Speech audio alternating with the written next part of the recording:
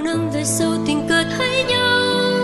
Đôi mắt người vẫn một màu sẫm nâu cà phê trên tay anh đưa tay em cầm lấy có thể được xem như mình vừa cầm tay nhau. Xin lỗi vì đã chẳng thể tốt hơn.